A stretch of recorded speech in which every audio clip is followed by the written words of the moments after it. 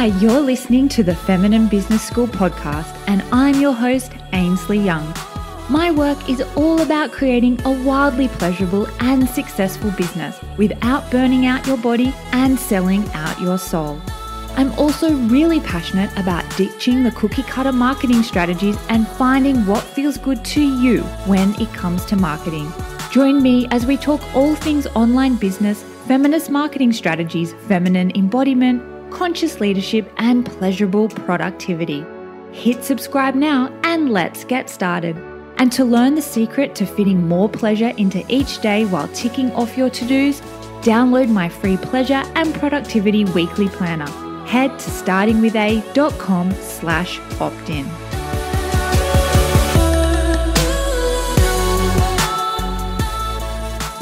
Welcome to the Feminine Business School podcast. I am your hostess, Ainslie Young, and I have another incredible guest interview for you today.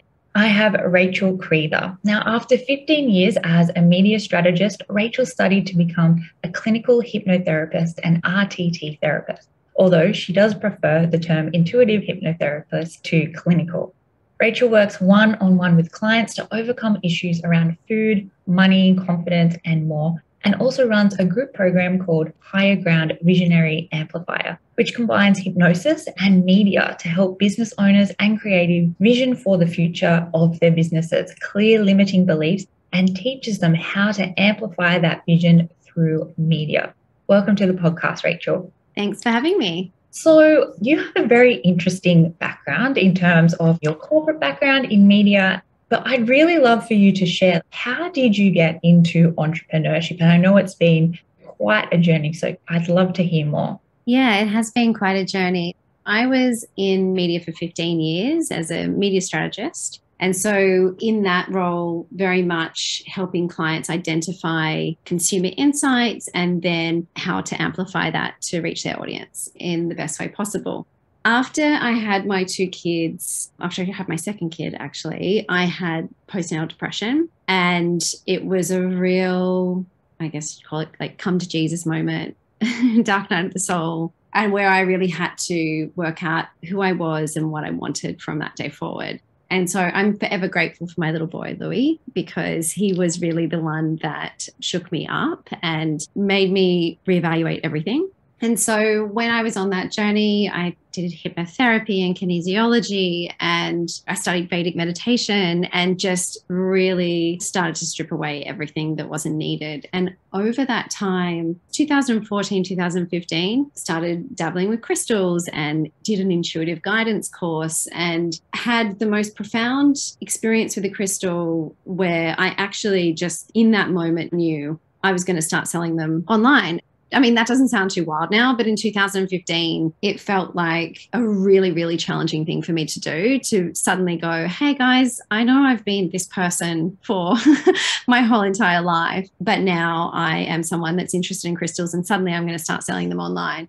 So that crystal business was called Rock and Co. And it was a really big healing time for me where I had to be comfortable with people seeing me in a different way, where I had to show up and really show this new side of me that was interested in spirituality. And even though it had been something that I had grown up with, like mum would always talk about angels and guides, and she would go and see psychics, and she would talk about trusting our intuition and our guts it was still whispered. You know, she didn't really say it in front of dad. And so it was one of those things that, even though it was always in my life, I guess that my subconscious mind also had this fear around showing it to anyone.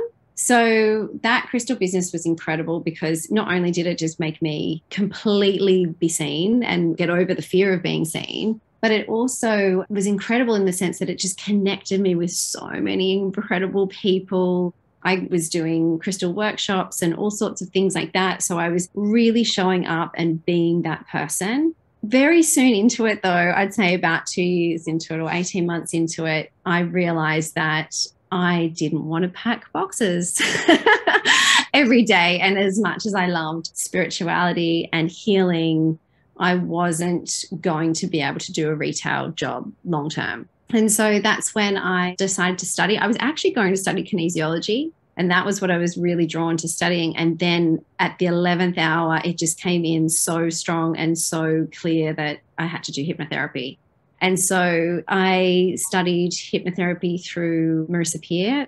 She was coming to Sydney and I'm now an RTT therapist and a clinical hypnotherapist, and currently doing deeper study into past life healing too, because that just shows up naturally with so many clients in the moment where we'll be regressing them back to the root cause and a past life will spontaneously come up. So I've wanted to do some deeper study into that as well because it just fascinates me. So it's a sort of a real a roundabout way of saying what I do now, but Rock and Co is actually a really important part of that story, even though I spent so so many years doing advertising and now so many years doing hypnotherapy and I love it. But it's interesting sometimes the way you have to go to a different angle because it's all going to make sense in the end and you, you end up somewhere else. Yeah, exactly. It's kind of like the bridge. And I see the similarities mm. between your story and mine because I worked in marketing and how I got into entrepreneurship was through a product based business, so through handbags. But mm. that wasn't where I was meant to be. And then, yeah, moving into coaching and the feminine embodiment work, and then fusing it back with marketing and business. It sounds like you've kind of come like full circle in a way, like everything's connected. Yeah. You can't see the dots connecting until you really start to look back. You can't. And now that we're saying that as well, I wonder if there was just such great learning that we had to get from that product based business. Well, for me, I felt like when I look back, it's really the connections that I made and the healing that happened. They were the two really key parts of why I had to do that product based business first. Yeah, that makes sense. Okay, well, let's talk about limiting beliefs. What limiting beliefs do you most commonly see with your clients who are business owners? And those limiting beliefs around blocking people's pleasure and ease when it comes to business and life? I think most of the blocks I see in business owners are actually blocking pleasure and ease. So the fear of failure, when that shows up, it's really around overworking or procrastinating. Even when we're procrastinating, we're still blocking pleasure and ease because it's still there in the background, these things that we need to do. And overworking, for obvious reasons, is blocking pleasure and ease. And that's one that I've definitely struggled with myself is the overworking. And quite often, I am surprised that that does come back to more of a fear of success or a fear of failure. The other one I see a lot is this fear of not belonging or this fear of being abandoned. And that very much presented for me, or a lot of the healing that I did through Rock and Co., this fear of not belonging. And the way that shows up, I feel, in business owners is not being able to be seen as your true, authentic self, or this fear around if I show up as my true, authentic self, suddenly I'm not going to belong to this group or this friendship circle, or I'm going to be judged here and I'll lose friends friends or I'll lose a relationship of some kind. So that's a really common one too. Another one I see a lot is not trusting yourself, people spinning their wheels, which obviously blocks pleasure and ease because if you don't trust yourself, you're spinning your wheels, you get decision fatigue, and then you just basically are looking outside of yourself for the answers the whole time. So I actually heard this great Seth Godin quote recently which was you don't need more time you just need to decide yeah because the more time we give ourselves we're going to fill it it's like continual thinking or doing the wrong things but I think the more, more you trust yourself and the more confident you feel, then the less you spin your wheels because you can just make decisions faster. Yeah, definitely. So true. In I ran a masterclass this morning for my mastermind clients and we're looking at the archetypes. So we're looking at the shadow and the illumination archetypes and how we can work with those. And this one around not belonging and feeling abandoned is definitely this prostitute archetype energy. Mm. Move into the lover, where it's divine self expression. You're claiming all of yourself and all of your desires. So I love that. Oh, I love that. Yeah. I love also what you said, Rach, about the fear of success, because mm. I feel like that really taps into a wound for so many of us around our capacity that in order to be more successful, we have to work harder and there's sacrifices. Like it's going to cost us too much. It's going to cost mm-hmm. us our health, our energy, our time, what people are going to think of us. So I can definitely see in myself and in clients as well all of these limiting beliefs. Yeah. I think we also can cap the amount of joy or success or abundance we feel like we're allowed to have. And that can often present more potentially on a subconscious level. We don't believe that we can be more successful than a parent or an older sibling or the socioeconomic group that we grew up in for whatever reason. So we cap that amount of money or we cap the amount of success. And I find it myself sometimes because I have been exploring more around this pleasure and joy and ease that I can sometimes cap the joy or I watch my little boy sometimes, you know, we're having the best day ever, but he'll have to do something to bring it back down for whatever reason that feels normal and natural to him. So I'm taking him to the kinesiologist as well. And I wouldn't do hypnotherapy on my own kids, but because for obvious reasons, I'm their mother. So um, I'm probably part of the cause. Um, but they both have their own kinesiologist. And so that's something I'm going to be working with him on the next time I take my little boy, because I really want them to just be able to fully express themselves, to fully receive all the joy and pleasure that is available to them in this lifetime. Yeah, I love that it really speaks to our pleasure capacity and our pleasure potential. Like, how much can we welcome in? How much can we allow ourselves to be in that pleasure? And that's a real practice, a real embodiment piece of feeling that pleasure in your body. And how long can you just let it simmer? Because so quickly our head will be like, oh, but you've got to do something, like write that email. But I love what you said about the conditioning and the cap that you might have put on, say, your earning potential because this is something that I found myself struggling with last year. And that's when I reached out to you. I guess the needle, the dial of how much I can welcome in with doing less work. So, yeah, there's definitely so much potency in medicine in Rachel's work. So, let's hook back in. What limiting beliefs are you actually challenged by at the moment, or what are you struggling with? Well, there's two at the moment. One, I'm kind of feeling like I can really let it go with more ease now, is sometimes beliefs aren't limiting until they are. And I had a belief growing up, and it was a really positive belief that I was independent and resourceful, and I'm the eldest of four kids, and I was always the one that could just sort things out or get things. So that's really great. So when I was in advertising and starting my own businesses, yes, independent, resourceful, I can make things happen. And that's why so many of us are driven because these beliefs have helped us.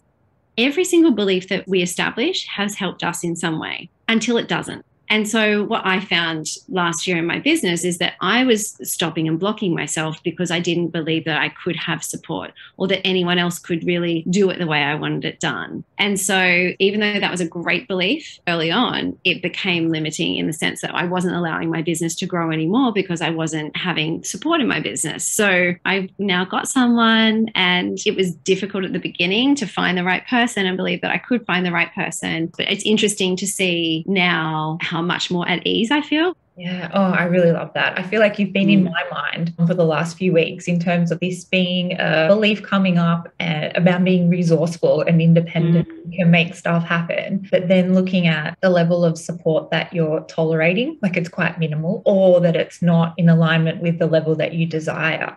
Like I love your example that it's welcome in so much more ease having this support. And then you know you've got evidence in the 3D that you can find somebody remarkable and amazing to help you out. So yeah, that's awesome. Yeah.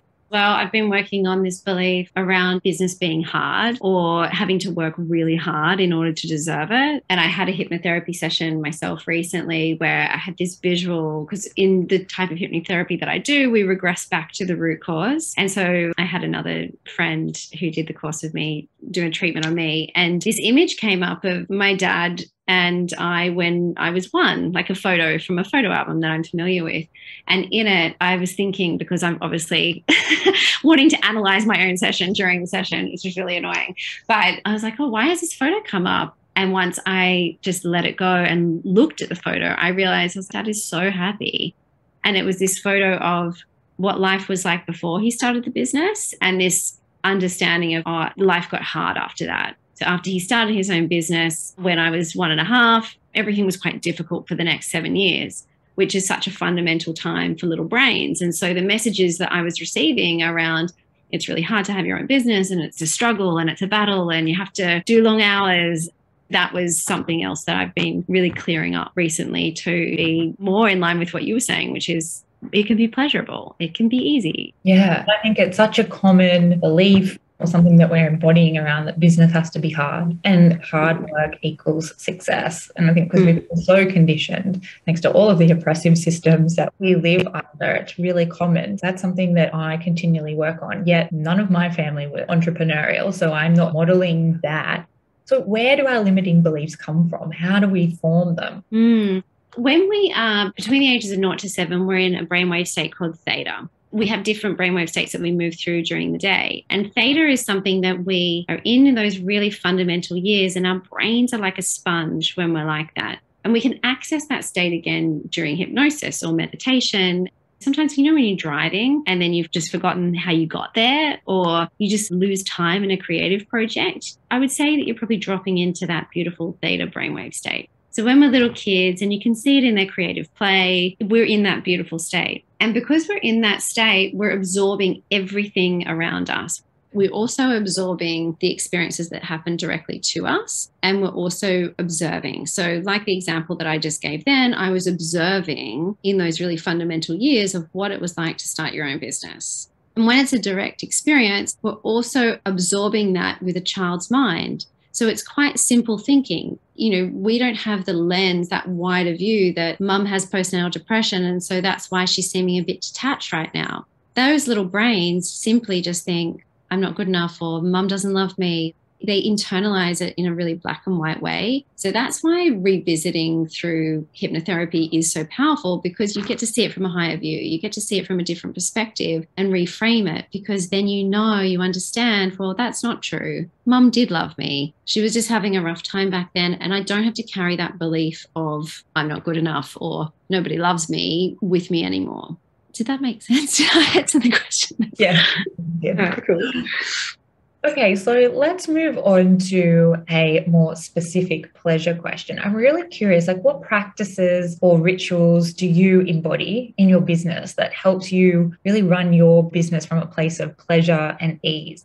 I love this question. So I do lots of different little tricks along the day or the week, depending on what's coming up. So, just today to prepare for our podcast, you sent me through a few example questions that you might ask. And I thought, you know what, I'm just going to jump in the bath, beautiful salt bath, and read those questions and just have a little bit of an idea of what's going to happen in the podcast today. So, baths, I love them for grounding, for feeling I guess, pleasure in the day. It feels like something I would never have been able to do in a corporate job. And so it feels like, wow, this is such a treat to be able to work for myself and do this. I also have other little intuitive practices. So before I'm going to my office to do a client session, I'll ask that my angels and guides clear the space and do anything that needs to be done there before I get there.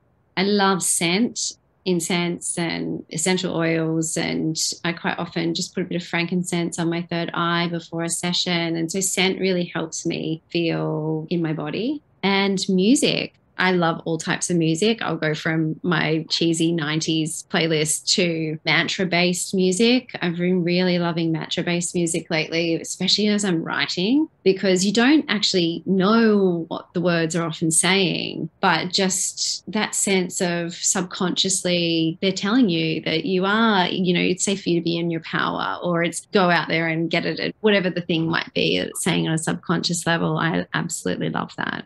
And I think the other thing that gives me pleasure and ease in my business is other women. Over the years, I have got this incredible group of women that I know that I can reach out to because working by yourself is lonely. And sometimes you do want someone to bounce off. So I have an incredible group of women that I turn to and grab lunch with it just helps me feel more in my body as well, just to be able to have a laugh and relate to other women in business. Yeah, I love that. And I do get the sense from you that you derive a lot of pleasure from that sense of being grounded. You've mentioned that many times in terms of and your rituals and like really coming back into your body. I can deeply resonate with that. And I love how you really get your senses involved mm. to access pleasure. And I wholeheartedly agree with you around welcoming in pleasure through the company of others. And I think it mm. really shows how we have to also be very discerning in terms of who we surround ourselves with and their energy, because some people can deplete our pleasure, stamina, mm-hmm access pleasure and others really amplify it. So, yeah, we have to prioritize pleasure and also be discerning as to the different avenues. So true. Well, anyone that's done any healing and releasing as well will recognize the people that reinforce those old beliefs and the people that are more in line with the new you that's coming through. But no, you're right. I'm a double air sign, so I need a lot of grounding, especially before client sessions. So I do prioritize that. well, whatever works for you. I've really, really loved our conversation today. Thank you so much for sharing all of your wisdom and your knowledge and your experience. But I'd love for you to share how can people follow your work and the different ways that clients can work with you. My clients work with me either if it's a one-off issue, we can do a one month some clients work with me for six months. So I've got people that have specific business goals and they want to be able to do a session once a month just to make sure they're staying on target. And I also run a course called High Ground Visionary Amplifier, where I combine the media and marketing skills with hypnosis. So we vision for the future through hypnosis. We then clear any limiting beliefs through hypnosis. And then we work out how to amplify that vision through media strategy. Oh, and you can find me on Instagram at, at Rachel Crethar or my website and join my newsletter. I send out a monthly newsletter just with things that I've been loving and reading and watching. And probably the best way to reach out is via DM. Yeah, I love your newsletter. I always find some random interesting thing to have a look at that you've been deeply down that rabbit hole in. So, yeah, definitely sign up letter and um, follow her on Instagram. So, thanks again, Rach. Thank you. Thanks for having me. I love this chat. If you want to unleash your pleasure potential to claim the business and life you desire, I have something really exciting to share with you today. Soon I'll be running an exclusive Activate and Ascend workshop. I have so many juicy and new teachings to share in this workshop, including my signature Activate and Ascend framework that will allow you to ascend with ease and pleasure into your most expansive, delicious, and pleasurable life and business. It's going to be amazing if I do say so myself. Now, to learn more and to apply for this exclusive workshop, just jump over to the show notes and you'll see the link with all of the details and how to apply there. Or alternatively, if you have any questions, you can reach out to me via email ainslie at startingwitha.com. Just check the show notes, everything is there and I look forward to welcoming you into the Activate and Ascend workshop.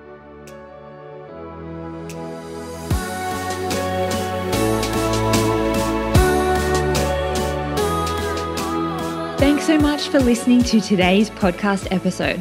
Hopefully, you enjoyed it and you received some tips and takeaways, or maybe a major aha. And if you did, please leave me a quick five star rating and review in Apple Podcasts. I'd be so, so grateful. And if you'd like to connect, just come and say hi. DM me over on Instagram. You can find me at Ainslie Young. I'll speak with you soon.